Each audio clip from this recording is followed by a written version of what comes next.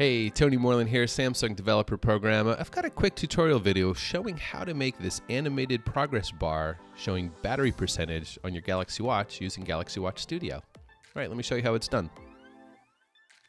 All right, so here's a quick overview showing how the bar works. As the battery percentage goes down, the bar width reduces, and at certain levels, it changes from green to orange to red. And not only does the bar change color, but the power icon changes as well. This is done by using the battery timeline to show or hide a layer depending on the power percentage level. You can use your favorite graphics program like Photoshop to create the graphics of the bars. For this design, I have 10 different bars that go from 100% down to 10%. I've saved these images as transparent pings because I have this little rounded corner that I want the watch background to appear behind. If it was a perfect rectangle, I could have saved these as JPEGs. All right, so let's build it. The first thing I'll do is import all of my bar graphics. So I'm just going to select all of these PNGs, drag them into my workspace area, and import them in. Okay, the next thing I'm going to do is select all of my layers and use this icon button up here for aligning to center. Perfect. Okay, now in order to control these graphics based on the battery percentage, I need to bring in a battery timeline. And what you do is you click this little plus symbol next to the timeline tab, and I'm going to select battery percentage.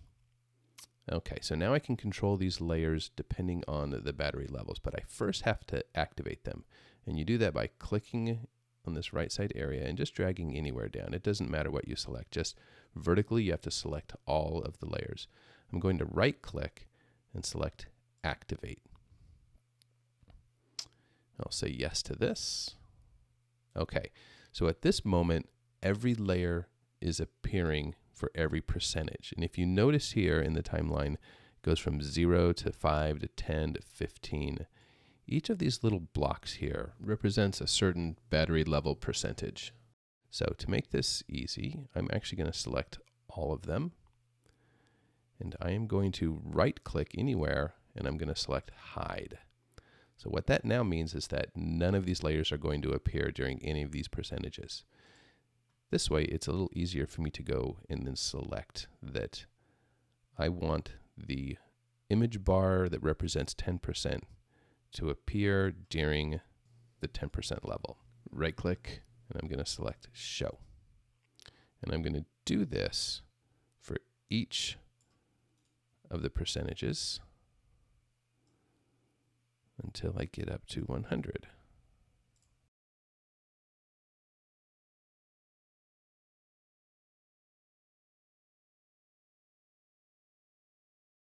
So now you can see if I drag the timeline for the battery,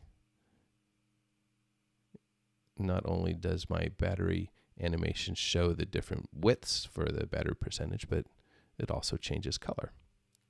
All right, so let's add a little bit more to the uh, watch face design. I'm going to click back on the timeline tab here. And uh, to simplify things, I'm going to go ahead and group all of these bars. So I can use the keyboard shortcut, which is Command G. That will group. I could also right click on that selection of layers and select group. All right, so now let's bring in the icon for the power symbol. All right, so I have a green, an orange, and a red. So I'm just going to select those three, bring them to my workspace area, import them in. They're all a little too large, so I'm going to reduce the size of them. Let me just move them around here so we can see them all. I'm going to change the size of this.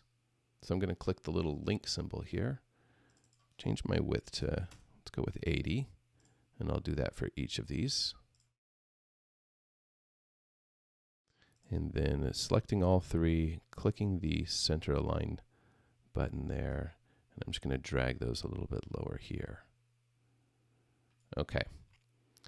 So now I need to go back to the battery percentage timeline.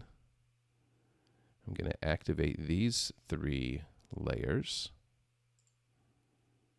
I'll say yes to that. All right, so the first thing I'm going to do is just go hide all of the layers. Let's see, it's right about there. I'm going to want the red icon to show. And then when it changes to orange, up to, let's see, it's at about 60%. I'm going to want the orange layer to show for the icon. And then the remaining will be the green. So this way, as my battery percentage changes, the icon changes. Okay, now the last thing to do just to finish up our design is to bring in a digital clock. I'm going to reposition that and make a few changes here. So in this digital clock, I only want to show the hours on the left and then the minutes on the right. So to do that, I go down to the ICU format and I'm going to change that to be two H's. And let me show you what that does. So you can see now it's only showing the hours. It's showing it as two digits. If I only want it to show as a single digit during the hours from 1 to 9, and then double digits from 10 to 12, I just use a single H. Okay. So let me make some sizing adjustments to this and reposition it. Okay, so the first thing I'm going to do is enlarge the font size. Let me go to 120. I'm going to change the font also to uh, Watch Apple Mint. I'm going to enlarge this text box a little bit. If it's cropped like this, it'll actually show cropped on your watch face. Let me just kind of go like that. That's looking pretty good. So the next step now is I want a minutes digital clock. So I'm just going to copy paste, duplicate that layer for the hour, go down to the ICU format and make this two lowercase m's. And font size, I want to make that a little bit smaller. So let me change that from 120 down to about 84. And I'm going to left align the minutes digital clock so that as the time changes, it has a little better alignment. Now, if I wanted my digital clock to show 24 hours, I would change the lowercase h to be a capital H. So now when my digital clock time changes, it goes to a 24 hour format. Simple little trick. All right, there you go. That is how you make a battery progress bar to show the battery level on your Galaxy Watch. Hope you enjoyed the tutorial, and we'll see you around.